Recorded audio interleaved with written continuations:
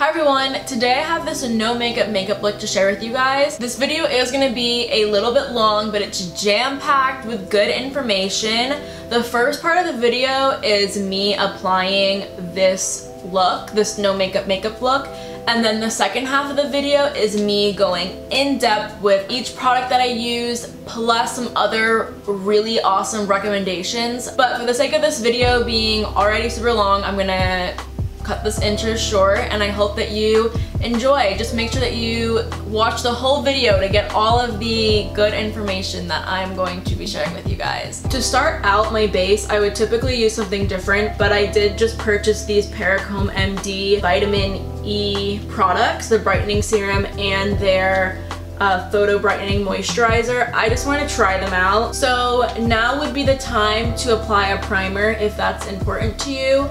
Um, I'm not gonna worry about it. I'm going to use my Natasha Denona Face Glow Foundation and this does have SPF 15 in it. This product is a little thick so I do like to sheer it out with a beauty blender but it kind of just feels like a thick moisturizer on the skin.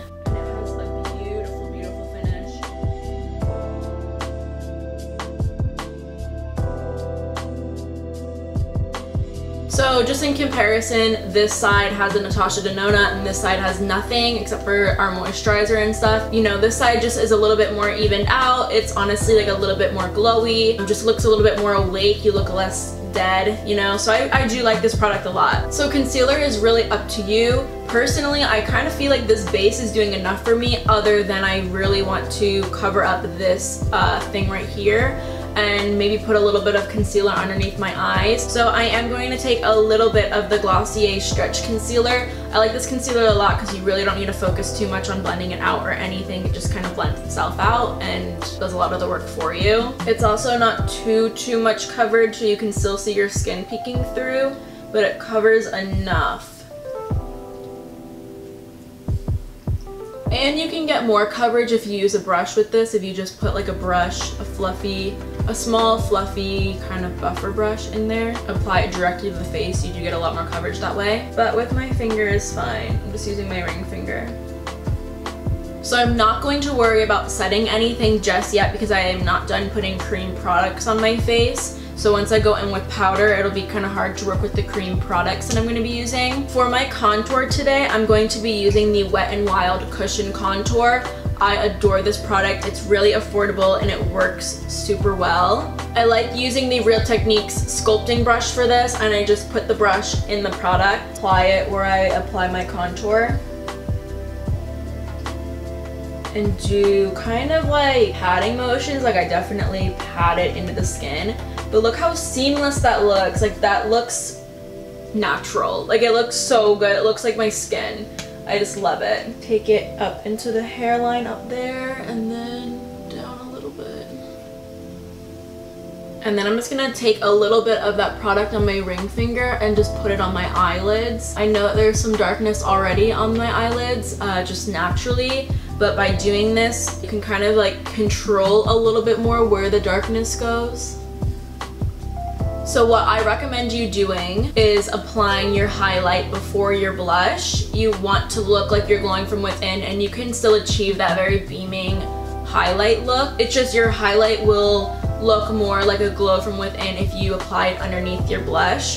So how I'm going to apply my highlight today is I'm going to be using the Becca Cosmetics Shimmering Skin Perfector Poured in the shade Opal and I'm going to be using some on my beauty blender so I'm just going to be like patting my beauty blender into the product and then patting it into the skin.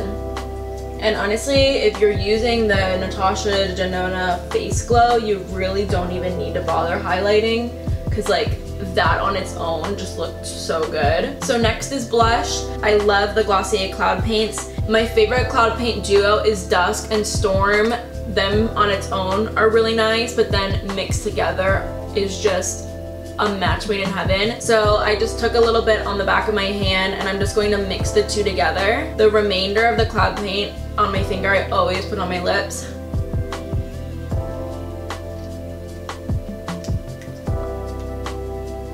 And then just tap your brush in there. I'm using the Real Techniques Duo Fiber Contour Brush and I just tap the Cloud Paint into my skin with the brush.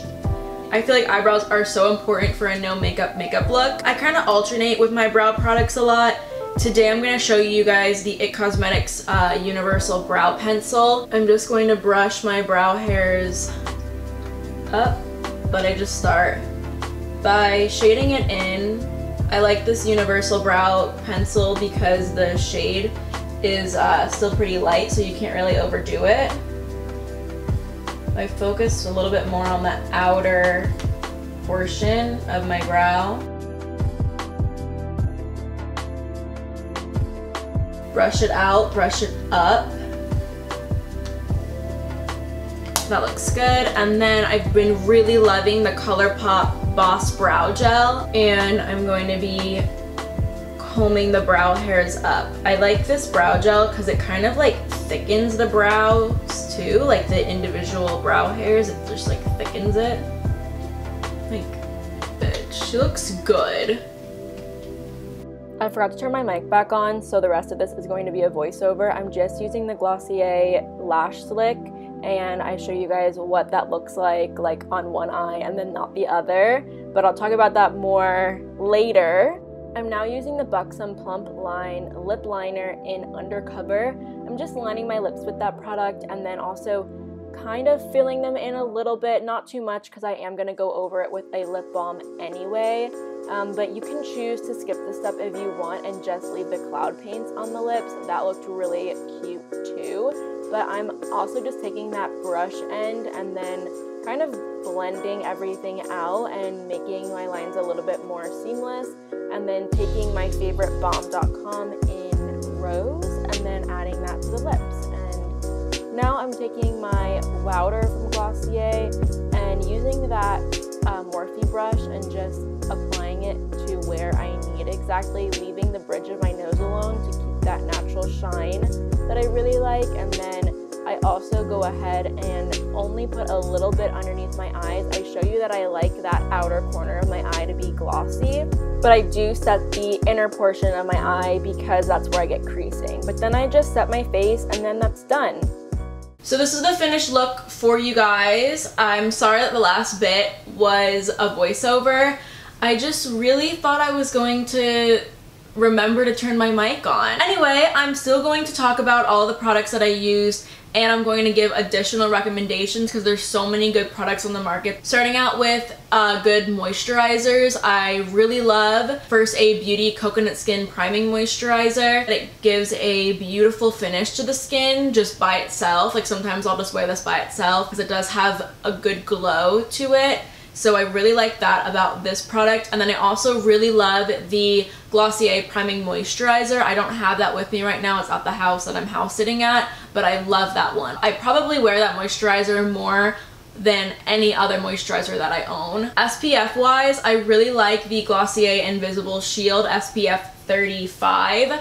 I like this one because it just goes on clear and it also smells really good. Primer wise, if you were going to use a primer, I think that the NYX Honey Dew Me Up is really beautiful on the skin. It kind of makes your skin have like a very glossy, natural sheen to it while also allowing the product to stick really well to it because it stays pretty tacky. So whenever I use this product and then put like a foundation over top of it, my foundation is like stuck on there for all day. So I have a few different foundations that I would recommend to someone who wants that no makeup makeup look or someone who wants um, just like a lighter coverage situation. Um, first, obviously being that Natasha Denona Face Glow Foundation, you saw how it performed. It looks beautiful on the skin and it has SPF 15, which is also a, a good plus for people who are worried about the sun. It is thick, but feels like a thick moisturizer. It doesn't feel cakey or anything. Something that's also going to be a little bit more full coverage is the IT Cosmetics CC Cream. This one is full coverage, but it does feel like a moisturizer. It's more coverage than the Natasha Denona one. It also feels like a moisturizer, and it's also thinner. Like, it feels like a thin moisturizer with more coverage than the Natasha Denona one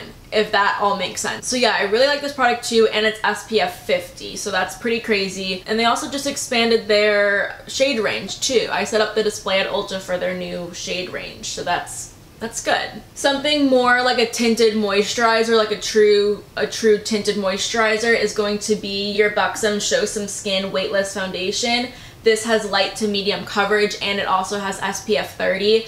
I like this foundation for every day. It has a true light to medium coverage and it's just very um, effortless. Like it's very user friendly and I can just kind of slap it on and know it's gonna look good. More so with the It Cosmetics CC cream, I do have to work a little bit harder with making sure that it it's laying nicely on the face. Rather with this one, since it is a lighter coverage, I can just kind of put it on with my fingers even and just blend it out and it'll look it'll look good. So two very true light coverage products are gonna be the e.l.f. Cosmetics Foundation Serum. This has SPF 25 in it. This is a very true, just flat foundation serum. It's going to add a little bit of coverage to your face. It's going to even out your skin tone a little bit. It just kind of, so you have some product down there for just evenness, um, but it doesn't really do all that much covering. But I do really like this product a lot and it's very affordable. I mean, it's e.l.f. Cosmetics and it looks very nice on the skin. So I haven't tried their new skin tint formula, the Glossier skin tint formula. I'm interested to try it, but I also really like the original formula. I find that it's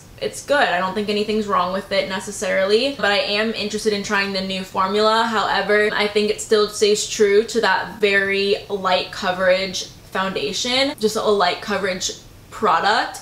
I think it's just like putting an extra layer of skin over your face. It just evens things out a bit. It doesn't add really much coverage at all, but it just, it evens things out, kind of kind of corrects a little bit of discoloration, but nothing too intense. If you do want some extra coverage, I do recommend the Glossier Stretch Concealer. I think that the Stretch Concealer is really nice, very user-friendly, and very forgiving. All you really have to do is take a little bit on your finger and like pat it on to an area that you want covered and it's covered. So I like that the Glossier Stretch Concealer is hydrating. So it covers the pimple but also hydrates it so it never looks like flaky or gross and cakey. Like I think that's just very nice. And then it also looks rather good underneath the eyes. I do experience creasing with the Stretch Concealer. Unfortunately, I know the claim is that it like stretches to your skin, so like there is no creasing technically, but it does crease. But you can always kind of counteract that creasing with a light powder. So moving on to our cheek products, I obviously really, really love the Wet n Wild Cushion Contour product. I think it just blends in beautifully over top of your skin and your foundation or whatever product you have underneath it. I think it still works really well even if you put it over top powder. I think that this product is just overall awesome. Like I really enjoy it. I will continue to repurchase it. And then I just really like applying it with the Real Techniques uh, sculpting brush. I like applying any cream contouring product with this brush. I think that the density of it is uh, just right for a cream product while it's still fluffy enough to blend things out really nicely. Another cream contouring product that I like quite a bit is the Hoola Quickie Contour Stick. I like this one a lot, however, they need to release more shades of this. I, I realize that Hoola is an iconic shade for Benefit's bronzers, but I do need them to release darker shades. This is the lightest I could possibly go with a bronzer without it being my skin tone, which is annoying because there's so many shades darker than me. Also, I forgot to mention the Milk Makeup Sunshine Skin Tint, and this has SPF 30 in it. I really like the skin tint. I also really like how it smells but it looks so good on the skin. It just has a really nice sheen to it. Um, it has that sunshine oil that Milk Cosmetics sells. It has it mixed in with the formula and I really like that oil too. It's like nice and hydrating on the skin. It looks really good and I really enjoy it and I wanted to share it as a no makeup makeup product. So moving on to highlighters. Obviously I use the Becca Cosmetic Shimmering Skin Perfector poured in the opal shade. I really like this uh, poured formula. I want to purchase some more shades in it. I think It works really well. I love how it sits on the skin. Another kind of cream highlighting formula that I really like, the MAC Cosmetics Cream Color Base, and this one that I have is in the shade Shell. Very similar to the Skin Perfector Poured, a nice cream base. I think that you can use this product on your eyes and stuff too. You can use the Becca one on your eyes too. You can use anything anywhere because makeup has no rules. And then like a liquid highlighter that I really like is the Naked Skin Urban Decay Highlighting Fluid and this is in the shade Sin. It's a little bit more intense, like just, I don't know, it's just a little bit more shiny and, and brightening, I guess. Uh, but I like this one a lot. I think it looks really nice on the skin. It doesn't feel like anything and it blends in really nice. So just for a powder option, I really love the MAC Mineralized Skin Finish in Soft and Gentle. This is such a timeless highlight, but I love how it looks. I think um, you can wear it over cream or powdered looks. Like it always looks good. Even apply it with a beauty blender to kind of make it into like almost a cream product but I love it. I love how wet it makes the skin look. Now onto cream blushes. I am in a full-on relationship with the Glossier Cloud Paints. I freaking love these things. I highly recommend them to anyone who has never tried Glossier before and wants to try some of their products, I highly, highly recommend Cloud Paints. I think that they sit so beautifully on the skin. There's one for anybody. Like, there is a shade for you. You just have to figure out which one it is because there's one for you. For me, I'd have to say I love Storm. I think it's so gorgeous. It's gorgeous on its own and it's gorgeous when mixed in with dusk too. I love this combo so so much. And then also I really enjoy haze. These ones are kind of just meh to me but on me. Like the shades look really beautiful on other skin tones or other people just like whatever their preference is. But these are just my freaking babies. I love them. They are so beautiful on the skin. Really versatile products. I like using them on my eyes and my lips and my cheeks obviously. Other cream blushes that I really like are the Stila Convertible Color blushes. It's a formula that I've been using for years. So this one is a Lilium and this one is Peony. I swear I've been calling Lilium lithium for ages. But yeah, I especially just love peony. I think that it works really well with my skin tone. And again, like the cloud paints, I do like using the Real Techniques Duo Fiber Contouring Brush for these products. So I just tap it into the product, but I will sometimes go on the back of my hand and kind of just like take off any excess product and then apply it to the skin the same exact way. Let's talk about eyebrows. I really like the Essence Make Me Brow. I find that it distributes color really nicely and it also does a good job at lifting the brow hairs up and keeping them in place. I always like to lift the brow hairs up to make my brows look fuller, make it look like there are more hairs, and just make them look a little bit more furry. An iconic brow gel is the Glossier Boy Brow. I do kind of just keep this one in my bag just for like on-the-go touch-ups. The wand is really, really tiny. It distributes product really nicely like the Make Me Brow one, and it does keep your brows in place for like a little bit longer than the Make Me Brow one. But I have been loving the ColourPop Brow Boss Gel. This brow gel is insane. I just really need them to come out with tinted versions of this brow gel but it's so, so crazy good. It almost feels like you're putting through like a mousse in your in your brows, like a volumizing mousse, and coating each hair with that volumizing mousse product. It's so crazy, but it like thickens the brows, keeps them in place all day. It really like lifts them up. It's just such a good brow gel. I highly recommend it to somebody who's on the market for a new brow gel. The only mascara that I can really recommend to you guys for that like no makeup makeup look is the Glossier Lash Slick. As you can see, it really just like coats the lashes very minimally to just like make them a little bit longer, a little bit more black, and a little bit more lifted um, and that's all it really does, which is is good. Like that's what you want if you want a look like this. So I have a few good no makeup makeup lip products to share with you guys most of them being lip liners. So often I really just like slap some lip liner on and then some lip balm and leave the house like that. It just looks like my lips are naturally beautiful when they really aren't. I really just love that pinky brown. I think it works really well on um, my skin tone and my look. So I really like the Buxom Plump Line Lip Liner in Undercover. So that's what the undercover shade looks like. Another huge favorite of mine is MAC Lip Liner in Spice. This is my second one.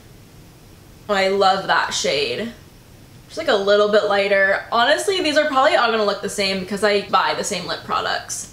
And then I really also like the Urban Decay 24-7 Glide On Lip Pencil. This is in the shade 1993. Still that pinky brown, just like cooler, I guess, cooler toned. The Urban Decay 24-7 Glide On Lip Pencil in the shade Liar. This one's like a little bit um, more purple toned, but still can kind of give off that same um, look, you know? This product that I really like from Lancome is their matte shaker, like their uh, juicy matte shaker. This one is in the shade Sea Sand Sun. I also really like Completely Nut, but my sister has that one up by her school. She took that from me. Um, but I really like this one too. That's just what that one looks like. Um, it's just a cute pink. It looks really natural on the lips. I like the Completely Nut one a little bit more because it's a little bit more brown. I just really like that look. But yeah, these are really nice too. And um, they kind of just give a nice tint to the lips and also feel like conditioning. For a good like tinted product, I love the Bite Beauty Agave Lip Mask. Uh, it just gives a nice like kind of raspberry tint to the lips if you're into that sort of thing. If you want a good, affordable, everyday lip gloss, I do really like the Ulta Beauty Juice Infused Lip Oil. I'll just apply a little bit they're like really nice and juicy. I really like them. And then obviously I love the Glossier Balm.com, uh, specifically in the rose flavor. It's my favorite one. I also really like the birthday cake one. And then for powder, I have yet to find a very nice natural powder like the Wowder. I think the Wowder does a great job as just an everyday like set it and forget it kind of powder. Other powders are like just a little bit too heavy for that everyday kind of look, but the Wowder is not heavy at all. It is kind of just like nothing on the skin, but it does mattify and it does set fairly well. And then as far as setting sprays go, as long as you're using one, you should be fine. As long as you get that like dewy look from one. And then also like setting sprays will help kind of bind all the products together if you're committed to the look. Definitely go ahead and get yourself an Urban Decay All-Nighter Spray. It'll just help the products stay on your face because we all know that this no makeup makeup look, it's cute, it's trendy, the lasting power of it isn't great. So the all-nighter spray from Urban Decay is the best setting spray out there if you want your no makeup makeup look to last all day and it will. You'll definitely see a difference. That's really all I've got for you today. I would totally be interested in doing more videos like this, uh, trying out other products. I would even be interested in doing a drugstore version of this. This is just products that I swear by and would recommend to anybody. Leave your recommendations down below and any questions you may have. Thank you guys so much for watching. Subscribe if you want to be notified whenever I post a new video and hopefully I see you next time.